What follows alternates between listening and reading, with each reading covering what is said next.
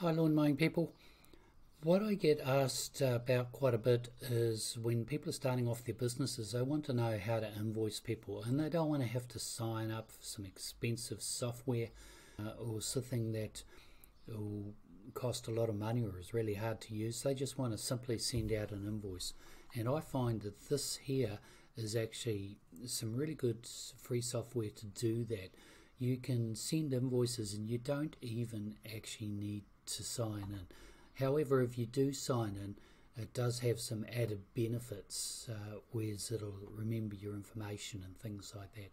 So the name of the site is invoicehome.com, pretty easy to find, and you just go in there, you just click, click create an invoice now. And what it's done here is it's asked is it's asking you for the basic information. So your company name, uh, let's say it's from Gecko Lawns, and uh, let's say our address is Hamilton. Customer's address, like let's say it's Bill Smith. And let's say he's at uh, 23 Duck Road.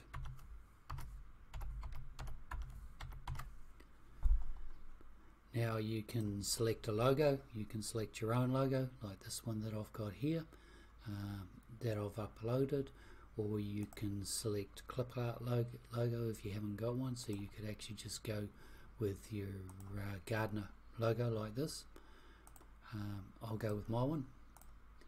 And all you've got to do here is choose a file and let's and then upload it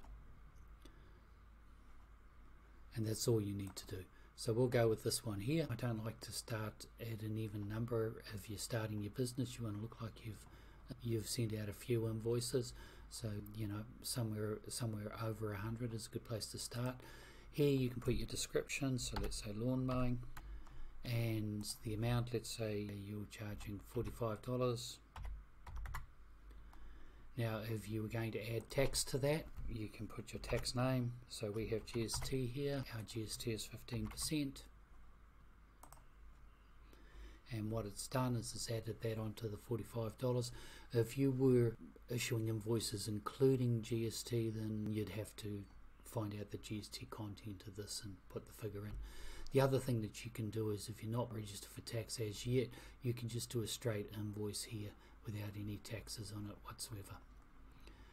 Uh, now, when you carry on down here, you can choose whatever currency you want. So just choose the currency of your of your own country. Here's your terms and conditions. You can put anything you like here. Um, the default is 15 days, but I don't do 15 day invoices. I'll do seven as the longest I'll wait. You can add a signature here if you want to add a signature. Got one here, not a very good signature but uh, if you want to add a signature just upload it and add it. You'll have to do that as a PNG file uh, which is one of those files with a transparent background. So now you've got your invoice and you're ready to send it. So you, you can either um, save the invoice or uh, or print it or send it via email. Now I see here you're going to have to actually enter an email address in order to be able to save. Uh, I've already got an account going with uh, with my Google account so we can sign in here.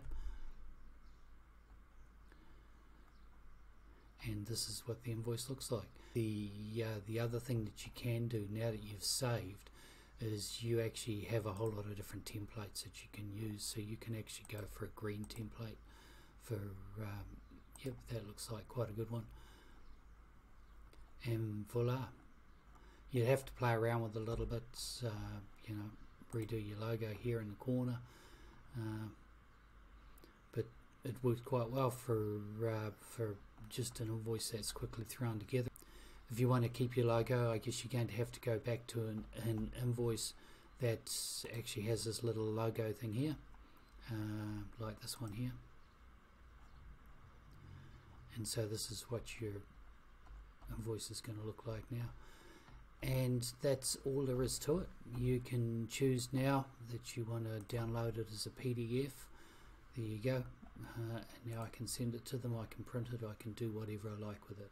And that's how uh, Invoice Home works. I hope you found this video helpful and uh, you'll find the link for this uh, underneath this video otherwise you could just type in invoicehome.com uh, and get to it from there. Okay oh you guys? Um, get out get out there mow lawns have fun and happy lawn mowing people